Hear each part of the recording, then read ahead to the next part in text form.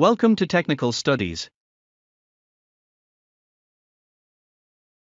Fitting an eccentric reducer to a pipe that is already fitted to another fitting, like a flange, T, elbow, etc., is a little tricky. It is a good practice, marking the center lines of the fittings, before starting the fit up, especially an eccentric reducer. I have already posted videos, how to mark the center lines of an eccentric reducer, in different methods. In this video, I will show you the method of fitting an eccentric reducer to a pipe that is already fitted to a flange. But, this method is applicable for all the fittings. Remember, the sequence of the fit-up is more important. Assume that the flange is welded to the pipe. Put the spool on suitable supports.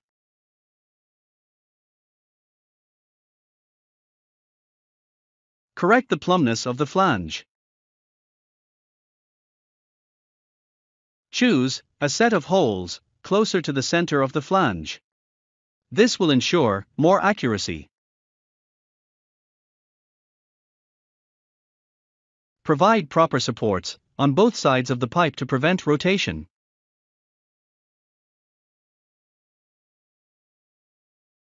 Correct the level of the pipe.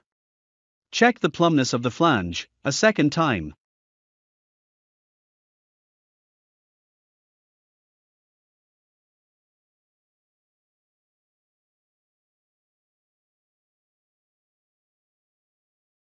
Check the outer diameter of the pipe.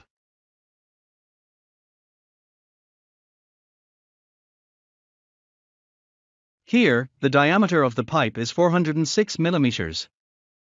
Hold a large right angle on the pipe as shown.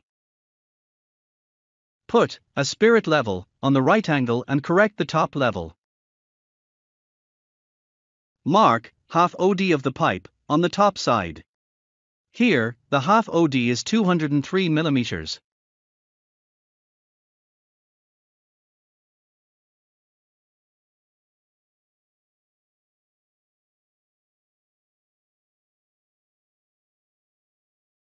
Hold the spirit level vertically and transfer the top center mark to the bottom side, as shown.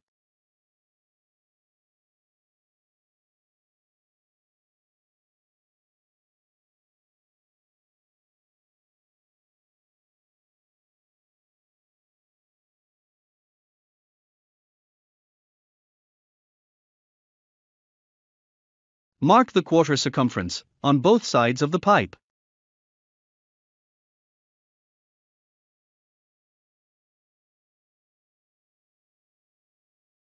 If you don't have a pipe aligning clamp, tack weld, four numbers jack bolts 90 degree apart, as shown. Put the reducer in the clamps. Slightly tight the bolts. Arrange proper supports below the reducer. The height of the support shall be adjustable. Here, I used simple wedges.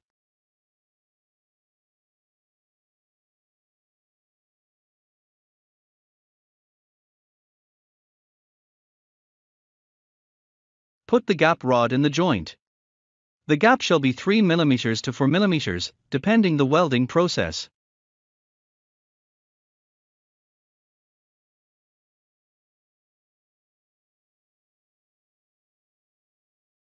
Match the center lines on the pipe and on the reducer.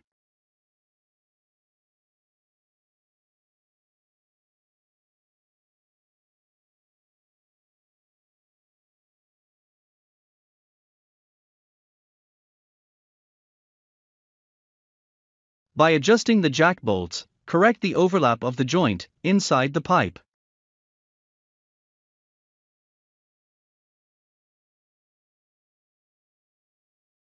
Now, tack weld on the top side of the joint.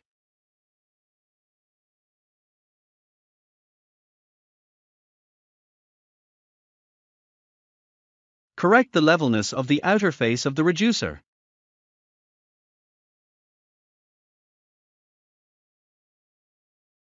Tack weld in the bottom side of the joint.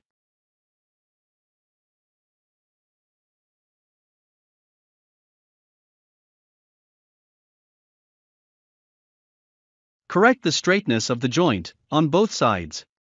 If required, remove the gap rod. Tack weld, on both sides.